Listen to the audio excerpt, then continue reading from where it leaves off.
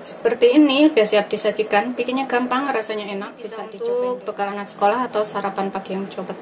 Bikinnya tuh super duper gampang. Atau misalkan pengen masak cepet, bisa masak ini ya. Assalamualaikum warahmatullahi wabarakatuh. Hari ini aku akan buat masakan yang enak, cepat dan mudah. Ini bisa untuk sarapan atau bekal anak sekolah. Di sini aku siapkan bumbunya dahulu ya. Aku akan gunakan 3 siung bawang putih, ini aku akan cincang dahulu. Agak kasar nggak apa-apa cincangnya.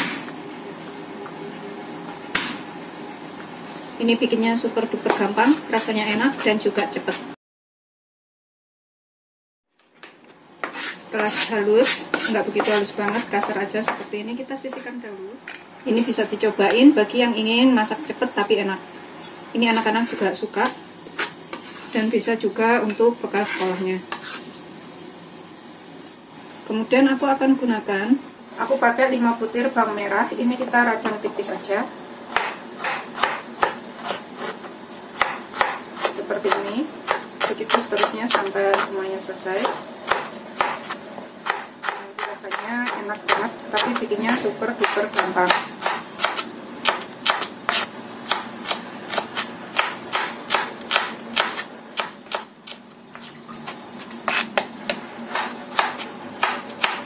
setelah selesai semuanya ini kita sisihkan sebentar. Aku juga pakai cabai hijau. Kayak gini bisa pakai paprika atau cabai hijau keriting juga boleh. Kalau misalkan suka pedas bisa ditambahkan cabai rawit secukupnya. Ini aku akan buang bijinya. Kita belah dulu.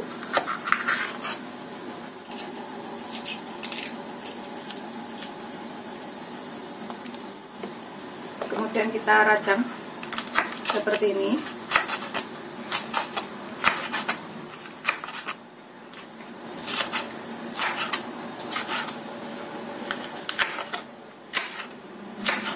Bisa juga dipotong agak besar-besar seperti ini. Kemudian aku pakai 500 gram daging ayam. Ini aku pilih bagian paha biar rasanya tuh lebih enak. Ini kita potong agak manjang-manjang ya kalau misalkan nggak suka sama kulitnya kulitnya bisa dibuang. Tapi kalau yang suka sama kulitnya kulitnya bisa dipakai. Kita potong kecil-kecil seperti ini. Biar lebih matang dan bumbunya nanti juga mudah menyerap ke dalam ayamnya. Begitu seterusnya sampai semuanya selesai.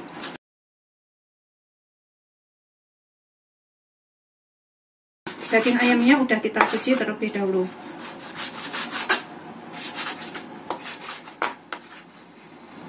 ini udah selesai kita potong manjang-manjang. Udah bisa kita gunakan. Pokoknya ini bisa dicobain di rumah ya kalau pengen masak cepet dan enak seperti ini. Kita panaskan minyak agak banyak kan kita goreng dulu ayamnya sampai matang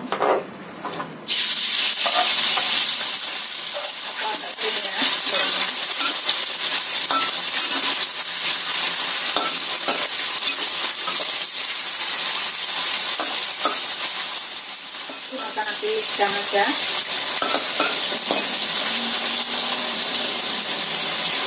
kita balik biar makannya itu merata. Biar sampai agak kering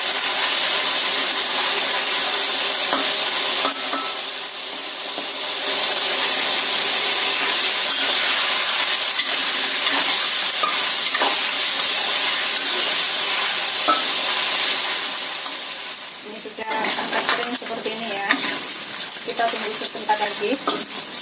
Minyaknya juga udah keluar dari kulitnya ini. Jadi aromanya nanti lebih enak. Ini setelah seperti ini kita angkat kemudian kita tiriskan kita sisihkan dahulu.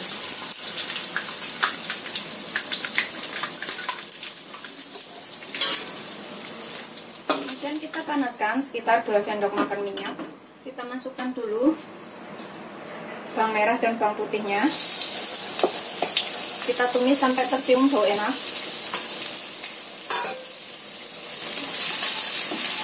Atau agak sedikit matang.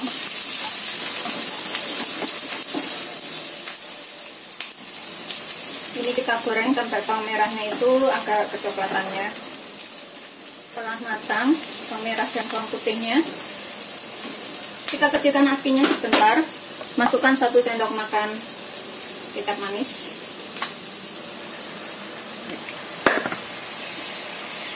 Kemudian kita tambahkan satu sendok makan saus tiram.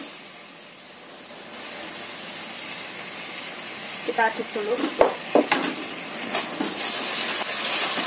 Tambahkan 100 ml air.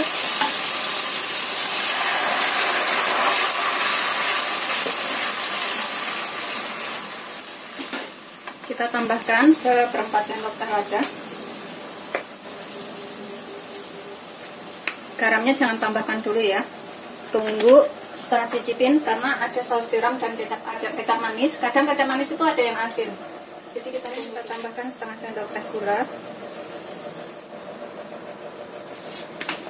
Kita tambahkan setengah sendok teh kaldu bubuk kita masukkan ayamnya. Ini nggak aku tambahkan garam dahulu takutnya keasinan. Kita cicipin sebentar. Kalau misalkan kurang baru ditambahkan garam. Bismillahirrahmanirrahim. Aku merasanya sih nggak perlu tambahin garam ya. Karena rasanya tuh udah ngepas. Masukkan cabenya.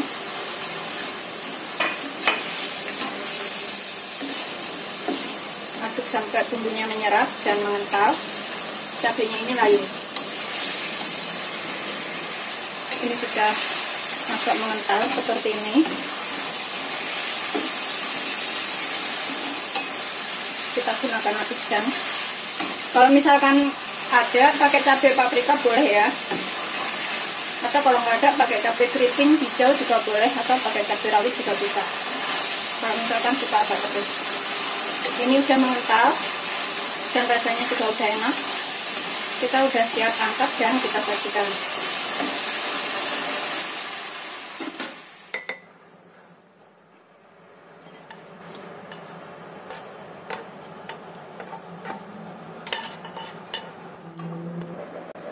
seperti ini udah siap disajikan bikinnya gampang rasanya enak bisa dicobain di rumah Selamat mencoba, jangan lupa like, subscribe, dan share ya. Terima kasih.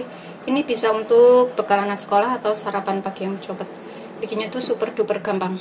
Atau misalkan pengen masak cepat, bisa masak ini ya.